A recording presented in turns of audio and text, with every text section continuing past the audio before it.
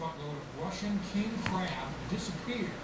Well, it's the target of what investigators believe was a well-organized fraud ring. Last Friday, a contracted big rig driver whose paperwork initially seemed solid left a cold storage facility in Los Angeles with the crab headed for Seattle.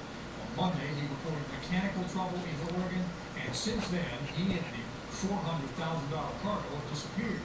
Industry experts said this kind of theft is not uncommon, especially since king crab prices